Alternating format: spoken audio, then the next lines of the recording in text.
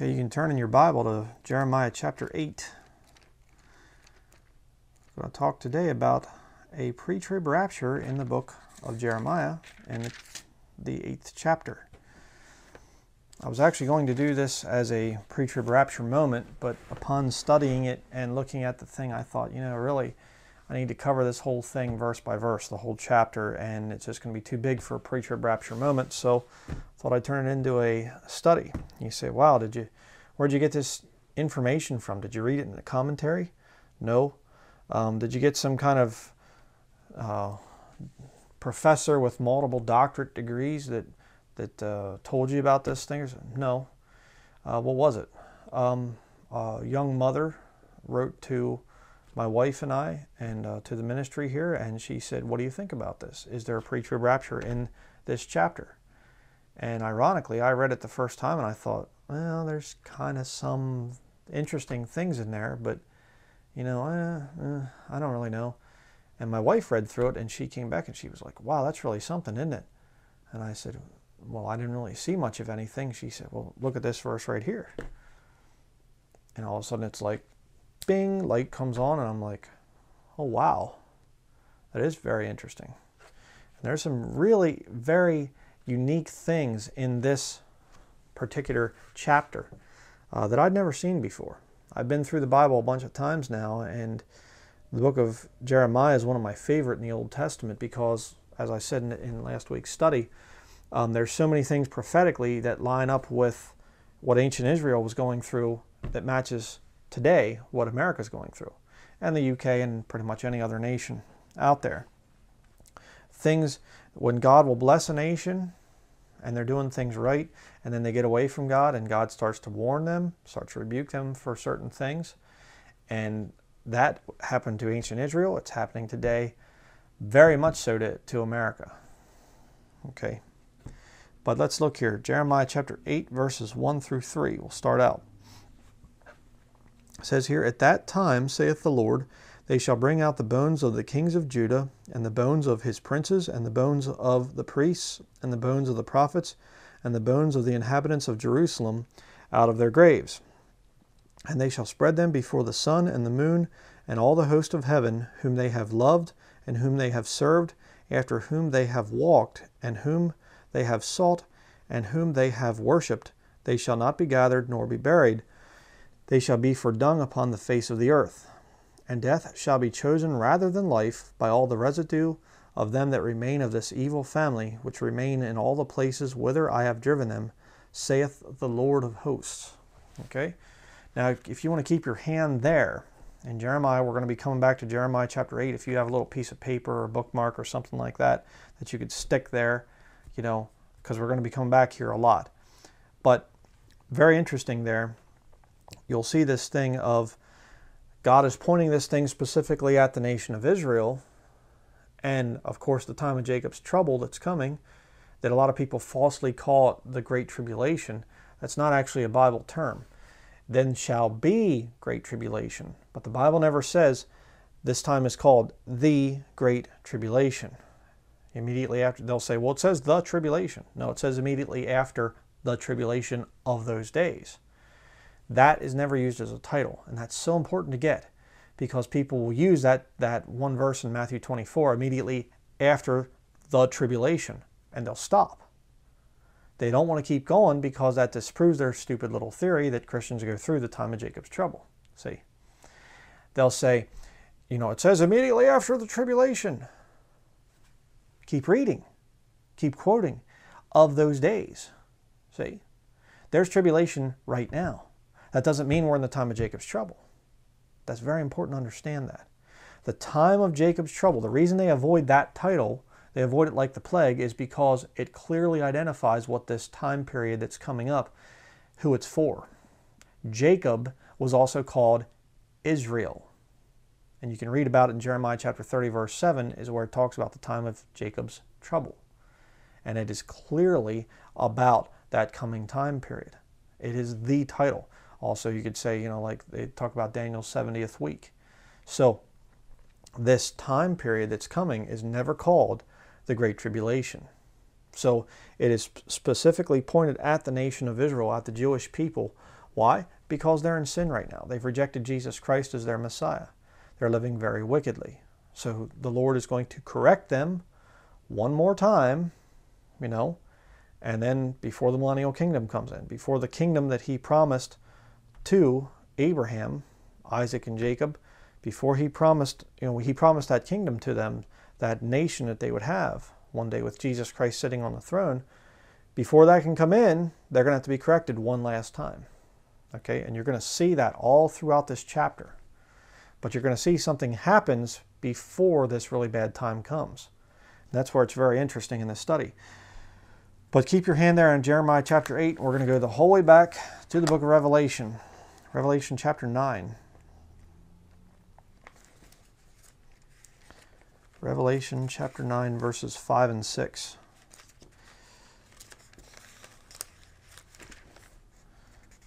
And notice it said there in Jeremiah 8, verse 3 And death shall be chosen rather than life by all the residue of them that remain of this evil family, which remain in all the places whither I have driven them, saith the Lord of hosts.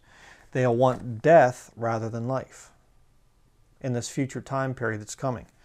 Look at this Revelation chapter 9, verse 5 And to them it was given that they should not kill them, but they, that they should be tormented five months, and their torment was as the torment of a scorpion when he striketh a man. Verse 6, it's talking about these weird locust things there too, by the way. Um, the fifth angel, you know. And it says here in verse 6 And in those days shall men seek death, and shall not find it, and shall desire to die, and death shall flee from them. Jeremiah 8, verse 3 And death shall be chosen rather than life. Is there a tie in? huh.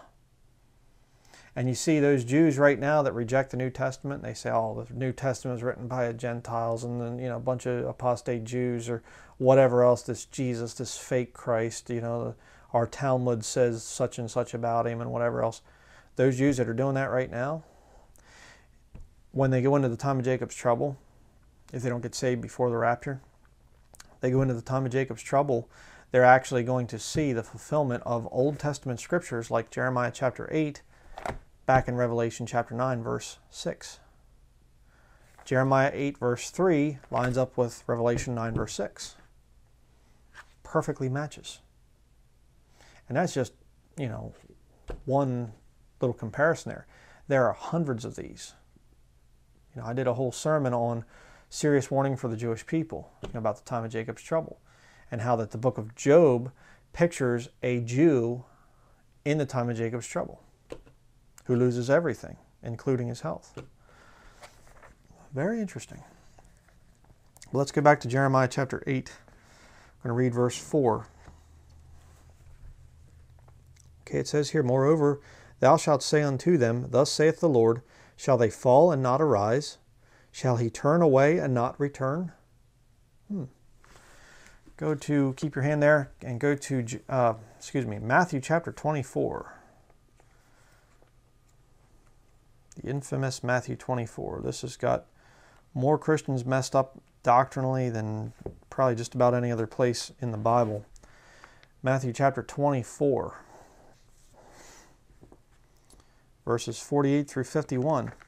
Notice there in, in Jeremiah 8, verse 4 moreover, moreover, thou shalt say unto them, Thus saith the Lord, Shall they fall and not arise? Shall he turn away and not return?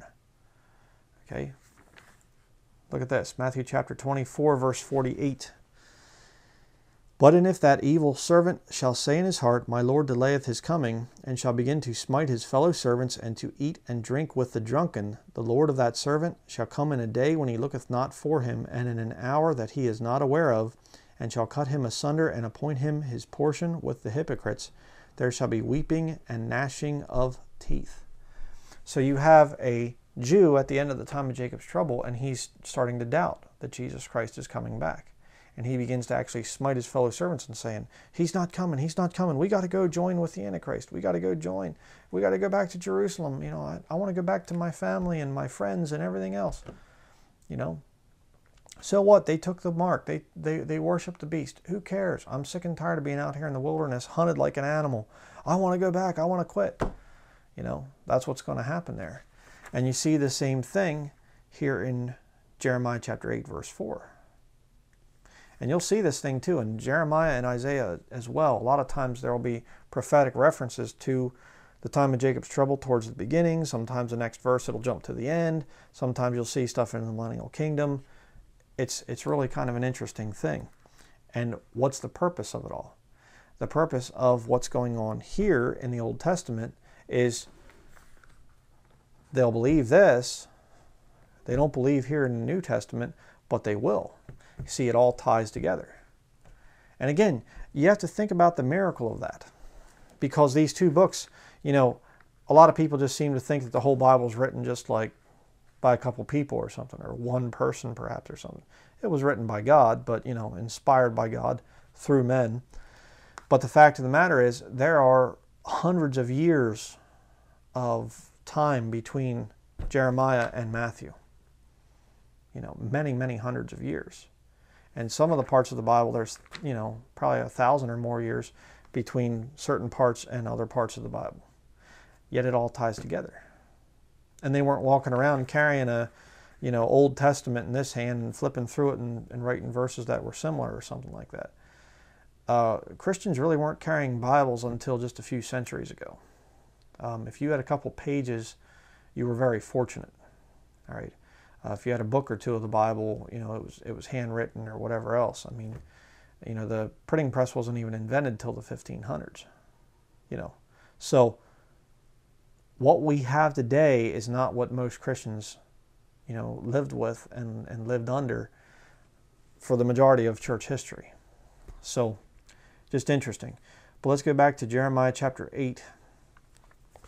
Jeremiah chapter 8, verses 5 and 6.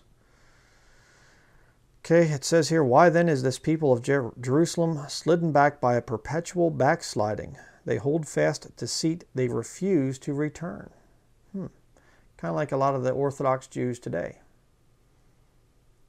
Yeah, they won't return to the Lord. They're, they're going with their own system and trying to be good and whatever else, and it doesn't work. Verse 6 I hearkened and heard, but they spake not aright. No man repented him of his wickedness, saying, what have I done? Every one turned to his course as the horse rusheth into the battle. Interesting because there's a lot of the brethren out there right now that are saying that sinners can't understand that they're sinners. They just need to believe in Jesus Christ and then they'll understand that they're sinners and that they need to change their life afterwards. Uh, that's not entirely true. Okay, lost people have an ability to understand. They can't understand the whole Bible, but they can understand that they're sinners before God. They can understand that. And that's why it's talking about here in verse 6. No man repented him of his wickedness. All right? They didn't turn from their that, that wicked life of sin. They just went on and said, I'm not good. Don't tell me what to do.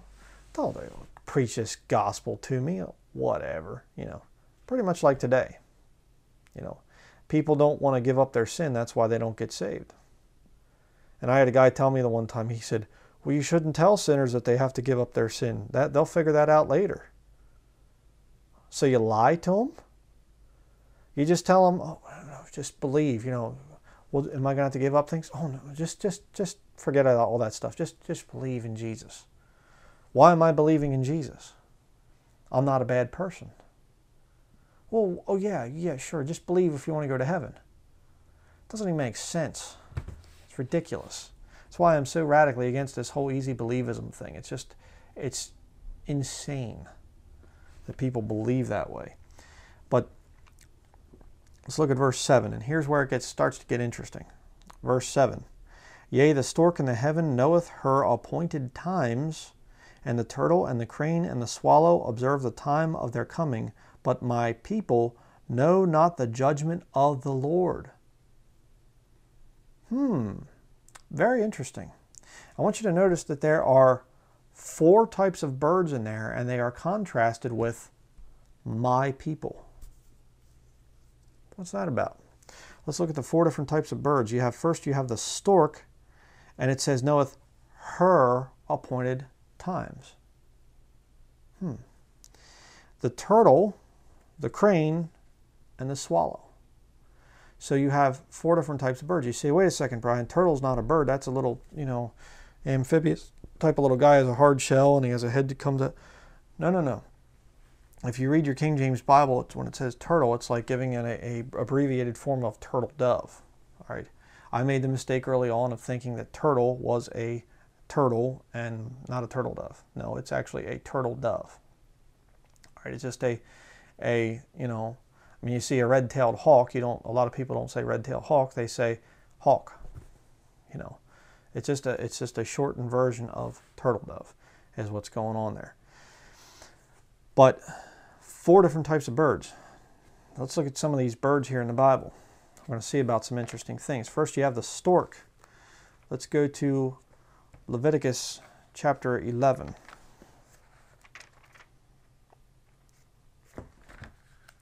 Leviticus chapter 11, verse 13. Okay, it says here, And these are they which ye shall have an abomination among the fowls. They shall not be eaten, they are an abomination the eagle and the ossifrage, the osprey and the osprey and the vulture and the kite after his kind, every raven after his kind, and the owl and the night hawk and the cuckoo and the hawk after his kind, and the little owl and the cormorant and the great owl and the swan and the pelican and the gier eagle and the stork, the heron after her kind, and the lapwing and the bat. Okay, what was I reading to? Yeah, Okay, you see it there, verse 19, the stork. All right, now let's look at the other reference, Deuteronomy chapter 14. Deuteronomy 14, verse 11. Deuteronomy 14, verse 11 says here, Of all clean birds ye shall eat, but these are they which of which ye shall not eat the eagle, and the ossifrage, and the osprey, and the glede, and the kite, and the vulture after his kind, and every raven after his kind, and the owl, and the night hawk, and the cuckoo, and the hawk after his kind, the little owl, and the great owl, and the swan, and the pelican, and the gier eagle, and the cormorant, and the stork, there it is again, and the heron after her kind, and the lapwing, and the bat. So again, you see the thing there two different times in the Old Testament, the Jews are told, don't eat the stork right? You say, what's the significance then of this thing? The stork is an unclean bird. Okay, I get that. What's what's the significance of it? Go to next to Acts chapter 10. Acts chapter 10. I'm going to show you the significance of this thing of the stork being in that passage. Everything God writes in His Word, there's a meaning there. Okay, and and how do you usually arrive at that meaning? Well, by comparing Scripture with Scripture, not commentary with commentary. Sometimes commentaries are a help, but if you rely on them things as your source of truth, it's going to be a problem. You know, a lot of people ask, you know, how do you study the Bible? By reading it. Okay, by doing word comparisons. That's another way that you can study the Bible. But mostly it's just by reading it. And and you know, another thing too, and that is the more sanctified your life is, the more you're giving up sin and things like that, the more the Lord's going to reveal His Word to you. And of course, do you have a believing spirit when you come to His Word, or do you have a critical spirit? Are you looking for errors in the King James Bible? If so, God's not going to reveal things to you. Okay, you have to approach the Bible with a believing spirit. Very important to get that. Acts chapter 10, verse 9 says here, On the morrow, as they went on their journey and drew nigh unto the city, Peter went up upon the housetop to pray about the sixth hour. And he became very hungry, and would have eaten, but while they made ready, he fell into a trance, and saw heaven opened, and a certain vessel descending unto him, as it had been a great sheet knit at the four corners and let down to the earth, wherein were all manner of four footed beasts of the earth, and wild beasts and creeping things, and fowls of the air like a stork, you know. And there came a voice to him, Rise, Peter, kill and eat. But Peter said, Not so, Lord, for I have never eaten anything that is, un, that is common or unclean. Like we just read about back there in the Old Testament. What was Peter? Oh, you say he's a New Testament Christian. Well, yeah, but what was he, you know, before his conversion there? He was an Old Testament saint under the Levitical law. That's what he was. And see, they're making that transition. The book of Acts is a transition book. So you go back to the early part here of the book of Acts, There are some things that are going on there that God is transitioning away from the nation of Israel over to now the nation of Israel as well as all the other Gentiles. And that's what's going on right here. But let's continue. Verse 15 And the voice spake unto him again the second time, What God hath cleansed, that call not thou common. Hmm. This was done thrice, and the vessel was received up again into heaven. Now, while Peter doubted in himself what this vision which he had seen should mean, behold, the men which were sent from Cornelius's house, Cornelius had made inquiry for Simon's house and stood before the gate, and called and asked whether Simon, which was surnamed Peter, was were lodged there. So he gets called away, you know, and, and he's he's there going, what on earth does this mean? You know, he didn't quite get it at first. And um, you say, well, is there an application to the thing of meat? I mean, should we take this thing as a spiritual uh, meaning here or as a physical? You know, and the answer to that is yes. okay, um, we are not under the Old Testament Levitical law. Even if you are a Jew, you have to understand that now in the New Testament, things changed. You don't have to live under that Levitical law of the Old Testament in terms of what you're eating for meat. You say, prove that. Okay, 1 Timothy chapter 4. 1 Timothy chapter 4. I'm going to show you here. There is some definite application to the thing of now there's no longer what we would call unclean meats you know, if you see a stork, in other words, you can eat it. 1 Timothy chapter 4, verses 1 through 5. Now the Spirit speaketh expressly that in the latter times some shall depart from the faith, giving heed to seducing spirits and doctrines of devils, speaking lies in hypocrisy, having their conscience seared with a hot iron, forbidding to marry, and commanding to abstain from meats. Notice that. Which God hath created to be received with thanksgiving of them which believe and know the truth. For every creature of God is good, and nothing to be refused if it be received with thanksgiving, for it is sanctified by the word of God and prayer. So you can see there that yes, you can eat any kind of creature. And as I've said in other studies, this does not say every kind of food. I've heard that thing preached from people. They say if you if you need to eat candy bars or you need to eat hot dogs and whatever else, you know, junk food, that's fine as long as you pray over it. It does not say that in the text. It says every creature. So if you see a stork and you're hungry and you need to survive, get that stork and eat it. Okay? We're no longer under that Old Testament Levitical law. As Christians today, we don't have to go back under that. You don't have to go back to Leviticus and try to say, I'm not going to eat pork products and I'm not going to eat shrimp or catfish or something like this.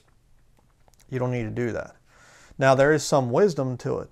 You know, I understand that there are some, you know, certain things that, that are not all that healthy for you. There is some wisdom. But don't fall into this trap of trying to go back under that Old Testament. We're not supposed to. But now let's look at Acts chapter 11. Acts chapter 11, verse 1. We're going to see here what this thing, this vision that God gave to Peter, how the Lord shows this thing to Peter and then reveals it to him in the context here. Acts chapter 11, verse 1. And the apostles and brethren that were in Judea heard that the Gentiles had also received the word of God. And when Peter was come up to Jerusalem, they that were of the circumcision contended with him. Of the circumcision there meaning the Jews. Okay? Saying, Thou wentest into men uncircumcised, and didst eat with them. You know, like, ugh, you were with those unclean Gentiles, these Gentile dogs? What were you doing? Verse 4 But Peter rehearsed the matter from the beginning and expounded it by order unto them, saying, I was in the city of Joppa, or Joppa, praying, and in a trance I saw a vision. A certain vessel uh, descended as it had been a great sheet let down from heaven by four corners, and it came even to me upon the which, when I had fastened mine eyes, I considered and saw four footed beasts of the earth, and wild beasts, and creeping things, and fowls of the air. And I heard a voice saying unto me, Arise, Peter, slay and eat. But I said, Not so, Lord, for nothing common or unclean hath at any time entered into my mouth. But the voice answered me again from heaven, What God hath cleansed, that call not thou common. And this was done three times, and all were drawn up again uh, into heaven. And behold, immediately there were three men already come unto the house where I was, sent from Caesarea unto me. And the Spirit bade me go with them, and nothing doubting. Moreover, these six brethren accompanied me, and we entered into the man's house. And he showed us how he had seen an angel in his house, which stood and st- said unto him, Send men to Joppa, to Joppa, excuse me, I keep saying Joppa, to Joppa, and call for Simon, whose surname is Peter, who shall tell thee words whereby thou and all thy house shall be saved. Hmm, interesting. And as they began to speak, the Holy Ghost fell on them as on us at the beginning. Then remembered I the word of the Lord, how that he said, John indeed baptized with water, but ye shall be baptized with the Holy Ghost. And so, for as much then as God gave them the like gift as he did unto us, who believed on the Lord Jesus Christ, what was I that I could withstand God? When they heard these things, they held their peace and glorified God, saying, Then hath God also to the Gentiles granted repentance unto life. Hmm. So, what was the vision about? The vision was about these Old Testament Jews looking at the Gentiles as unclean, as uncircumcised, filthy, dirty, ugh, get away. And God says, wait a second, I've cleansed them. I'm washed in the blood of the Lord Jesus Christ. I am a cleansed Gentile. I'm clean now in God's sight. Hmm. So, what was a stork before? It would have been an unclean animal to a Jew. What am I right now, according to an Orthodox Jew that has not received Jesus Christ? I would be an unclean animal to them. Mm-hmm. Interesting. There in Jeremiah chapter 8, verse 7, it said, Yea, the stork in the heaven knoweth her appointed times an unclean animal that's likened to a female, you know, like the bride of Christ. So you have this unclean animal, and she knows her appointed times. And right now, the Jews are just like walking around, you know, trying to get the temple rebuilt and whatever else. And they, you know, we're hoping that the Messiah comes soon and all this stuff. the Messiah, Messiah already came, you know. And the bride of Christ right now, we're going walking around going, I don't know what's, you know, stopping the Lord. I mean, there's some other people that have to be saved. I understand that, but man, the rapture's got to be any day now. I mean, we're getting so close. It's amazing.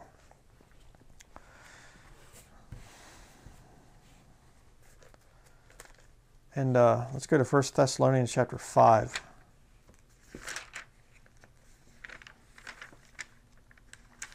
1 Thessalonians chapter 5.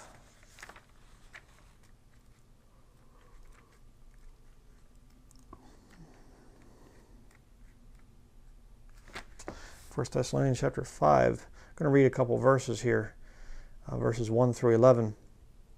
And we're going to, again, we're going to see this thing of the stork knows her, you know, the stork in the heaven knoweth her appointed times. Okay, the stork likened to the Gentiles saved body of Christ you know, and of course there's Jews in with it too, but you know, the the Gentile saved body of Christ, we know our appointed time. We'll see this here. 1 Thessalonians chapter 5 verse 1 But of the times and the seasons, brethren, ye have no need that I write unto you, for yourselves know perfectly that the day of the Lord so cometh as a thief in the night.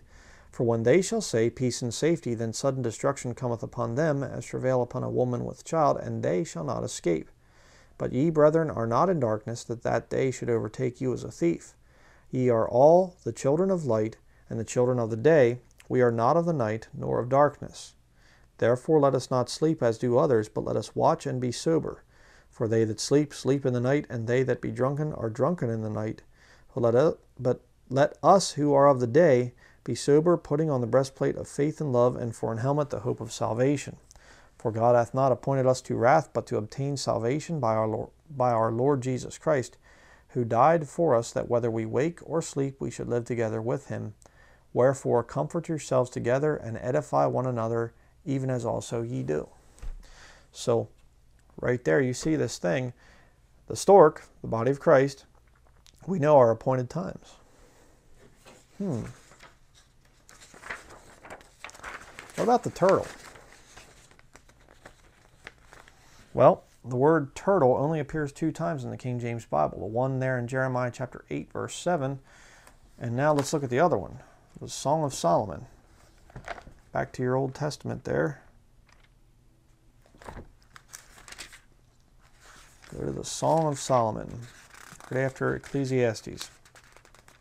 Song of Solomon, chapter 2, verse 10 through 13 is what we're going to read.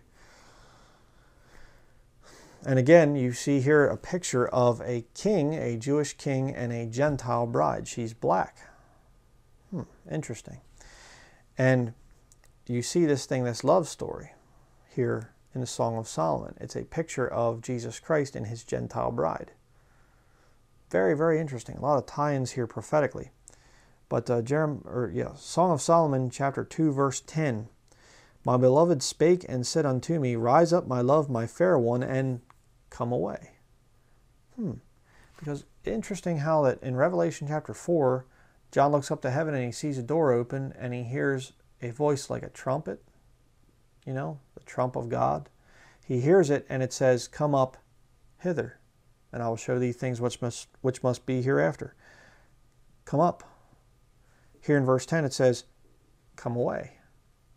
You know, rise up, my love, my fair one, and come away. Verse 11 For lo, the winter is past, the rain is over and gone, the flowers appear on the earth, the time of the singing of birds is come, and the voice of the turtle is heard in our land. The fig tree putteth forth her green figs, and the vine with the tender grape give a good smell. Arise, my love, my fair one, and come away. So you see it two times there. And of course, the thing of the fig tree putteth forth her green figs. And in Matthew chapter 24 talks about the fig tree being reborn. That prophetically is a reference to the nation of Israel. When that fig tree is reborn, now you actually have that generation is not going to pass away till all things are fulfilled. So we are in that time period. I don't know when the rapture is going to happen, but it's not going to be too long from now. It's not going to be another 30, 40, 50 years or something like that. All right. If it goes that far, then the Bible's not true. Just as simple as that. I mean, we are in that time period right now when Scripture is being fulfilled. Again, the stork should know her appointed times. Um, what about a crane? This is kind of interesting too. Isaiah 38.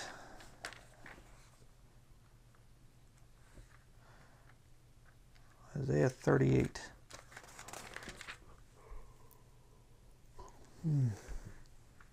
Isaiah 38, verses 1 through 3. Okay, it says here, In those days was Hezekiah sick unto death, and Isaiah the prophet, the son of Amoz, came unto him and said unto him, Thus saith the Lord, Set thine house in order, for thou shalt die and not live. Um, you know what? I think I have the wrong one. Oh, sorry, I was looking down at the next one.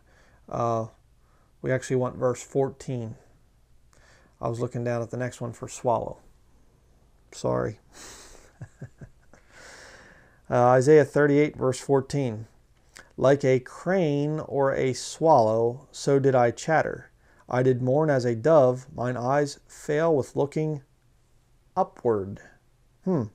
O Lord, I am oppressed, undertake for me. Now that's a little bit interesting there too, isn't it? You know, because it's it's interesting too, because uh, back there in the Song of Solomon, she actually says, "Arise, my love, my dove," you know, undefiled. She talks about her dove there, and here in verse 14 it says, "I did mourn as a dove." Hmm. But uh, mine eyes fail with looking upward. I have been thinking the Lord's going to come back for years now, the last couple of years. I'm just looking at this world, the way things are going, and I'm thinking, man, you know, when is he coming back? It's got to be sometime soon, you know. Why? Well, because uh, I'm oppressed. Undertake for me.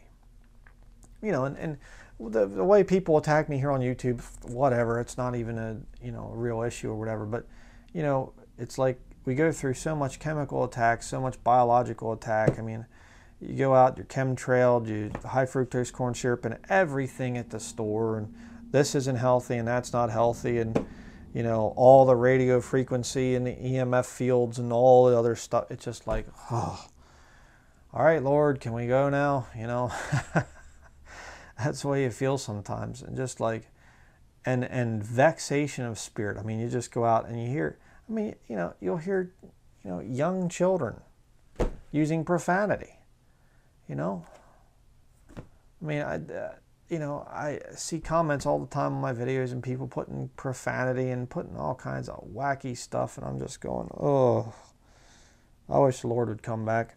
Now I know a lot of you feel the same way out there too. It's just, uh, you know, just to be able to finally have our reunion, you know, our, our the body of Christ just come together up there in the clouds and meeting the Lord in the air is just going to be wonderful. I mean, I look forward to that day, and I hope I never lose sight of that. You know, you shouldn't either, by the way. So you see there a crane. Okay, we've seen the stork being likened, being basically an unclean bird, likened to a Gentile Christian in the New Testament that knows her appointed times.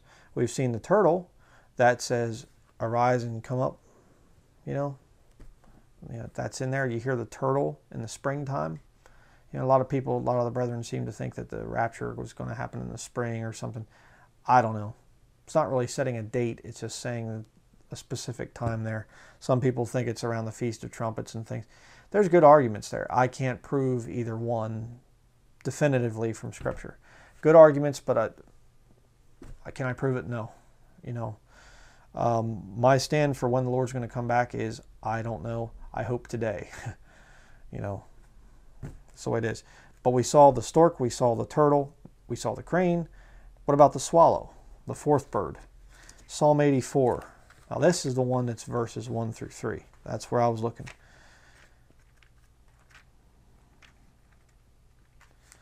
I guess my film crew should, uh, you know, say, cut, let's do another take, you know.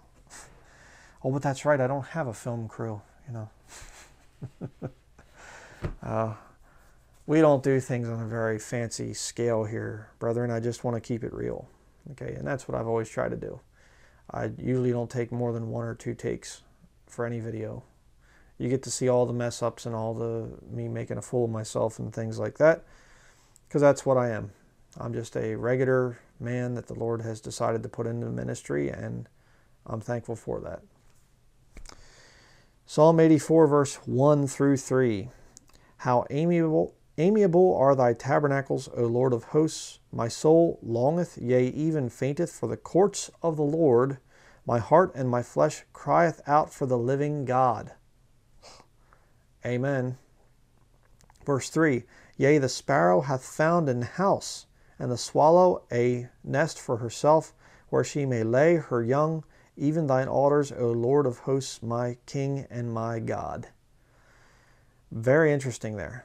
The swallow has found a nest for herself where she may lay her young. Notice again the female reference here. Most of these birds have a female reference attached to them, like the bride of Christ. Hmm. Interesting. But this female swallow here finds a nest for herself. You know what a bird will do when they want to find a nest? They'll find a safe place where they can't get hurt. You don't see a bird saying, you know, I think I'm going to make a, a nest right here in the middle of the highway or something.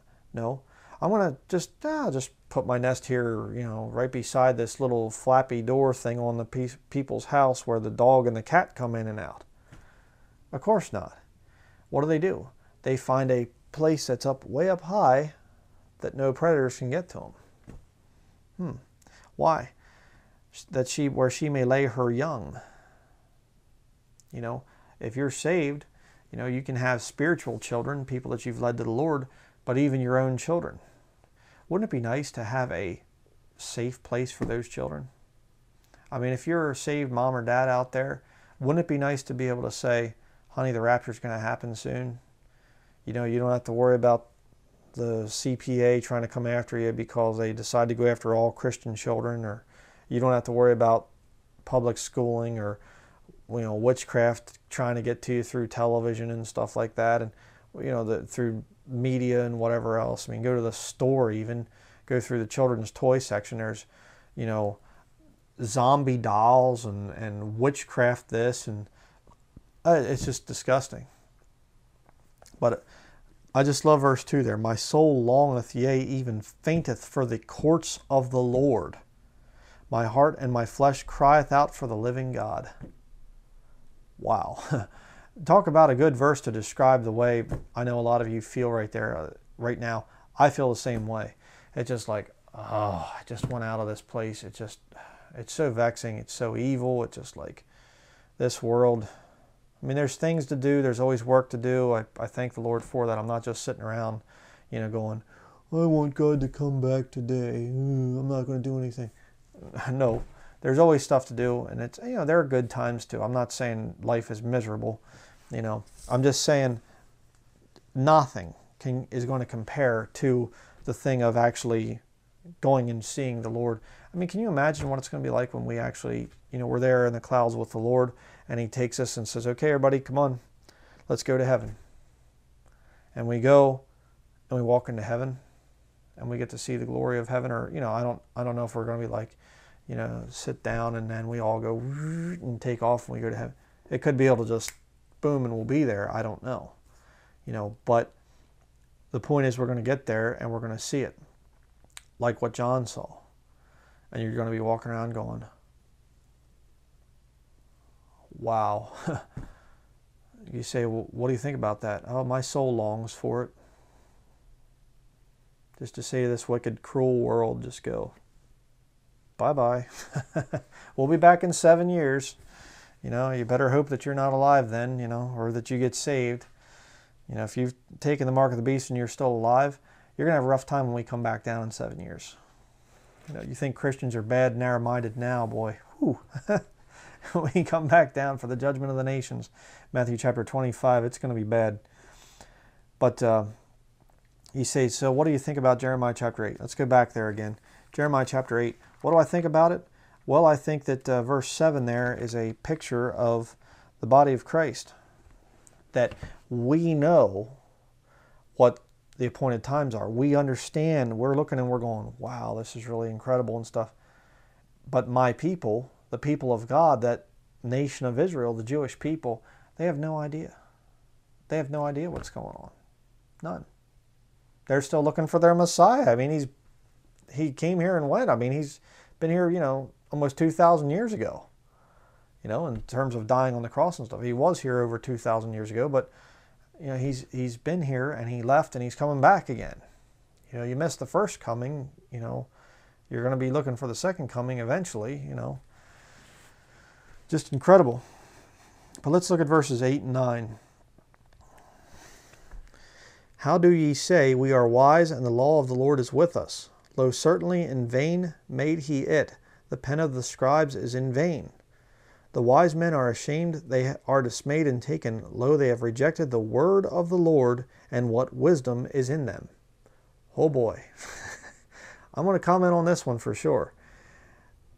It is absolutely incredible to me how many people out there attack this book, King James Bible, and you say, okay, then what is God's perfect word? Well, you know, the Greek and the Hebrew. Uh, okay, which edition of which text? And you get basically get them cornered to the point where they say there is no Bible that is perfect. Only the original autographs were inspired. Well, you have a real rough time then. See? And these two verses right here are describing those people. They say that the pen of the scribes is in vain. This, this here is just in vain. This isn't God's perfect word. The NIV is not God's perfect word. The New American Standard, the English Standard Version, New King James, whatever, whatever. None of them are God's perfect word. Well, then what's the point of having it written? The pen of the scribes is in vain. If this isn't God's perfect word, then what are, what are we even reading it for? Why even study the Bible? Why even do anything? If there's no perfect translation out there, if there's no perfect Bible available for us today that we can hold in our hands and read and study, if there is no perfect Bible, it's all in vain. Don't waste your time. See, that's what's going on there. And, and you know, again, they're there in the, in the days of Jeremiah. They certainly will be here in the last days. Just incredible. But, uh, and, you know, notice too there, verse 9, it says, They have rejected the word of the Lord, and what wisdom is in them? If somebody doesn't believe the King James Bible, they're not wise. They're foolish. Look at verse 10. Therefore will I give their wives unto others, and their fields to them that shall inherit them. For every one from the least even unto the greatest is given to covetousness. From the prophet even unto the priest, every one dealeth falsely. There's a nice prophecy for the false converts out there. And, you know, I don't say that somebody that uses a new version is automatically lost and on their way to hell. I don't believe that. But what I do believe is if they are truly saved, God will eventually bring them over to his absolute standard of truth, the King James Bible, if you're an English speaking Christian. This is the obvious standard of truth. That's why all the new versions compare themselves to it. Okay, they they even admit to it being the standard, with them continuously saying, "Now, the King James was a good Bible. We felt that there was a need for updating and whatever, whatever." You know, they still do it. It's incredible. This is the standard. Okay, here. And those people that reject this standard, those people that say, I don't want anything to do with the King James Bible, I hate the King James Bible, whatever, I believe they're false converts. Ultimately, I mean, when you have somebody that has heard the truth, now they're no longer innocent, they no longer uh, can say, I never knew that. They've heard it, they've rejected it. At that point in time, I believe that they're a false convert if God's Holy Spirit is within you, I don't believe that you can totally, completely reject this King James Bible. I mean, sanctify them through thy truth. Thy word is truth. Written word. Written scripture is supposed to be our standard. You know? I mean, it's right there. You know, and, and even the disciples, I can't think, I think it's in John, but we're not going to go there. I don't have this in my notes, but, you know, they, they talked about to Jesus. They're like, how are you going to reveal yourself to us and not to the world? And Jesus is like, through my word. You know? And you reject that word? I don't think you're saved. And what's going to happen to those people? Well, there, right there in verse 10. After the rapture, it's going to be so horrible. It's going to be a very, very terrible time. And they're going to watch their houses taken and their wives given to others and stuff like that. It's going to be bad. Verse 11 for they have healed the hurt of the daughter of my people slightly, saying, Peace, peace, when there is no peace. Where did we read that earlier? 1 Thessalonians chapter 5, verse 3 For when they shall say peace and safety, then sudden destruction cometh upon them as travail upon a woman with child, and they shall not escape. See how the Bible ties together? Absolutely, it's amazing. Jeremiah chapter 8, verse 12. Were they ashamed when they had committed abomination? Nay, they were not at all ashamed, neither could they blush. Therefore shall they fall among them that fall. In the time of their visitation they shall be cast down, saith the Lord. I will surely consume them, saith the Lord. There shall be no grapes on the vine, nor figs on the fig tree. There you see the reference to Israel again. And the leaf shall fade, and the things that I have given them shall pass away from them. Now, of course, the whole Bible is given for doctrine, for reproof, for correction, for instruction in righteousness. These verses here are doctrinally pointed at the Jews that are going to go into the time of Jacob's trouble, but there's application for the modern day professing Christians, the people that have not truly been saved, the people that reject absolute truth. They hate absolute truth. They are worldly. They, they like to hear about the world. The world loves them. They love the world. They're false converts. All right? And again, I'm not talking about some brand new Christian just got saved and they're, they're dealing with carnality issues. I'm not talking about that. I'm talking about somebody that's been a professing Christian for 10, 20 years or something like that or more, and they still have all these problems and issues and things. And they still hate you for, you know, preaching the truth. Okay?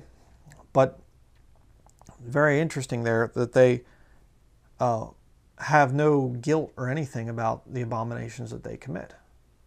And it's interesting because in 2 Thessalonians chapter 2 it talks about God sending strong delusion to people who received not the love of the truth but had pleasure in unrighteousness. Hmm, interesting. Another tie in there. Look at verse 14.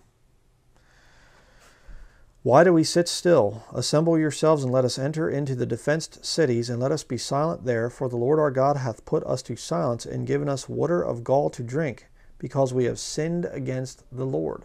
So you have the contrast here. There's people who don't care at all about their sin, and they're just like, ah, whatever. I'm not even going to blush about this. Yeah, I'm committing abomination. Who cares?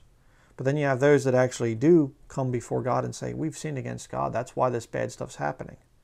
Just like the Jew in the time of Jacob's trouble.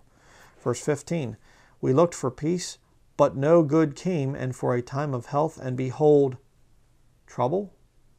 Like the time of Jacob's trouble? Yep, you see it there? Okay, verse 16. This is interesting here too. It says, The snorting of his horses was heard from Dan. The whole land trembled at the sound of the neighing of, the, his, of his strong ones for they are come and have devoured the land and all that is in it, the city and those that dwell therein. Is there a reference to a huge army with horses in the future?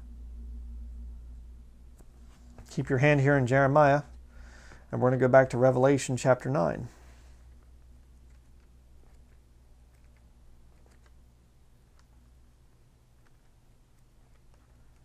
Revelation chapter 9.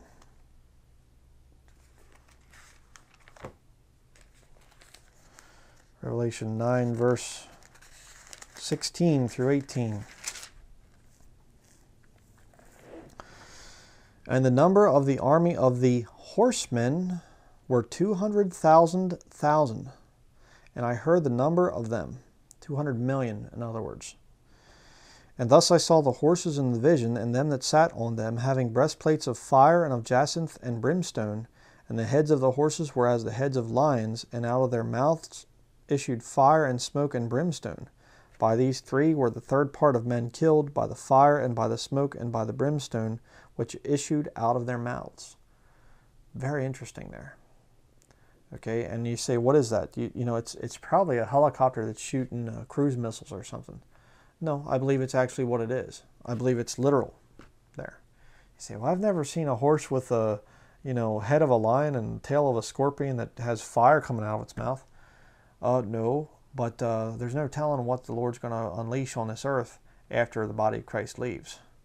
Um, I think the Lord could create that if He wanted to.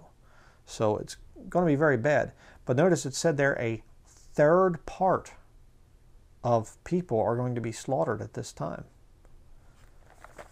Can you imagine that? One third of all people? In uh, verse 16 there, go back to Jeremiah chapter 8, verse 16 it says, uh, The whole land trembled at the sound of the neighing of his strong ones, for they are come and have devoured the land and all that is in it, the city and those that dwell therein.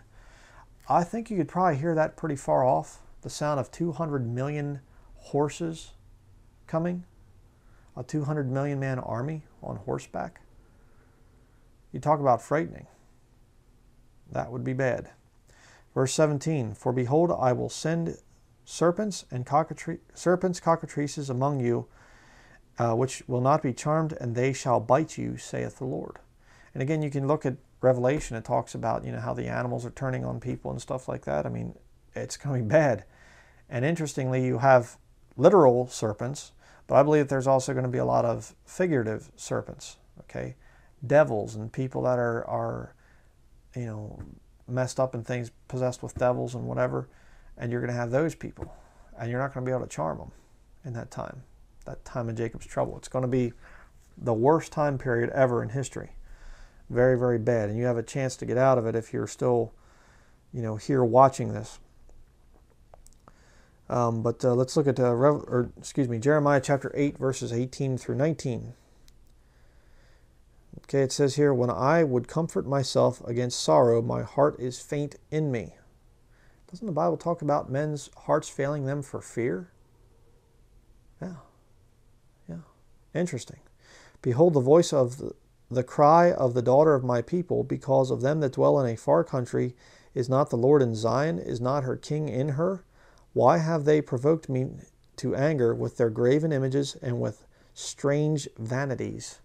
Interesting because towards the end of the time of Jacob's trouble, the Antichrist actually sets himself up in the temple, the rebuilt temple in Jerusalem, to be worshiped. Hmm. And these Jews at the end are going to be going, We want Jesus Christ to be sitting there. That guy down there, that Antichrist, he's not our king. We want Jesus Christ. Again, you see the tie in here. It's amazing. But now look at verse 20. This is a very interesting verse.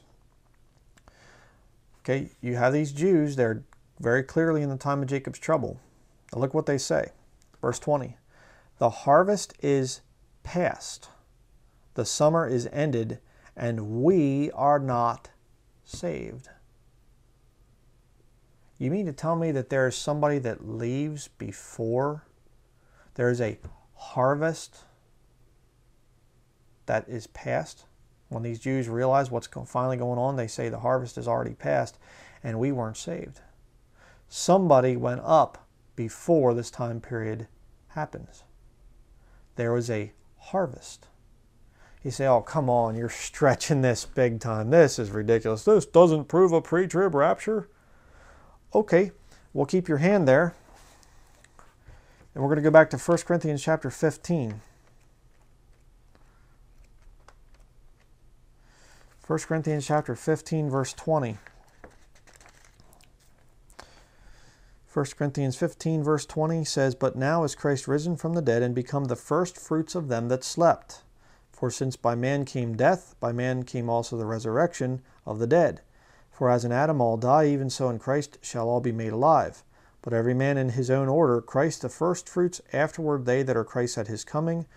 Then cometh the end, when he shall have delivered up the kingdom to God, even the Father, when he shall have put down all rule and all authority and power. Three parts to the first resurrection first fruits, harvest, gleaning. Anytime you have a garden, you will have the first fruits that show up, just a couple little ones here and there. Then you have the major harvest where all the crop is ready and it's all coming in. You got a lot of work to do. And then the gleanings when most of that harvest is done, when there's just a few. Okay? The first fruits were when the Lord went up at his resurrection. Matthew chapter 28. Many of the bodies of the saints which slept arose, came into the city, were seen of people. They went up. They didn't go back down into the grave. Okay? The second part is going to be the harvest, the church age. Right? The third part is going to be there at the end of the millennial kingdom there. You see that in Revelation chapter 20. Talks about that. And some of that stuff, I'll be quite honest with you, I don't understand some of that other stuff. But I know when the harvest is going to be. All right? The harvest is going to be when we have the whole church age, the whole time that the body of Christ has been on the earth, people getting saved that whole way, from the book of Acts the whole way up until the rapture. You're going to have that whole thing there. That's the harvest. And these Jews, back here in Jeremiah chapter 8, you can go back there again. Those Jews, they say, that harvest is past. We didn't get saved. We are not saved. And see, somebody in the time of Jacob's trouble can't be going around saying, I'm saved, I'm a Christian, I don't have to worry about anything. I'm sealed with the Holy Spirit of promise until the day of redemption. That's over. Okay? There are no Christians in the time of Jacob's trouble. That time period has ended. All right? It just as simple as that. You don't have eternal security in the time of Jacob's trouble. You have to endure to the end. Right? So you cannot say, I am saved and sealed until the day of redemption in the time of Jacob's trouble. You can today, but see, there's a dispensational change, and people can't get that through their thick heads but there is a dispensational change. Right now, you can't get unsaved, all right? In the time of Jacob's trouble, things will change. If you take the mark of the beast, you worship the beast, you lose your salvation. It's as, it's as simple as that. Can't get it out. All right, two more verses here and then we'll, we're done. Verse 21 and 22. for the hurt of the daughter of my people and my hurt. I am black. Astonishment hath taken hold on me. Are they going to be astonished when they see the events of Revelation coming to pass? Oh, yeah. Is there no balm in Gilead? Is there no physician there?